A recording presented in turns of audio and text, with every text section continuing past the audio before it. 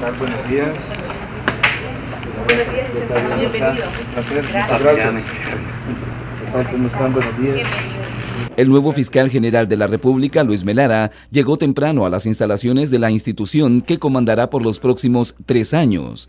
Melara dijo que espera seguir impulsando lo hecho por el exfiscal Douglas Meléndez.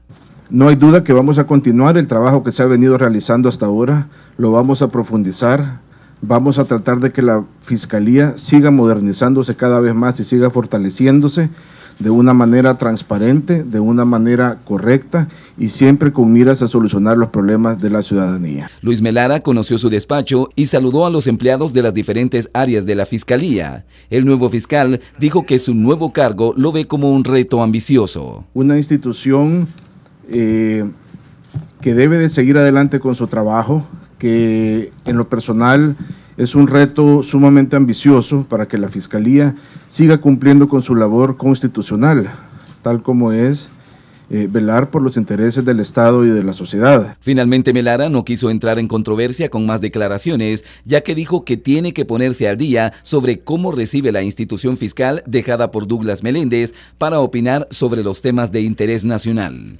Con imágenes y reportes de Héctor Burgos, este es un informe de la.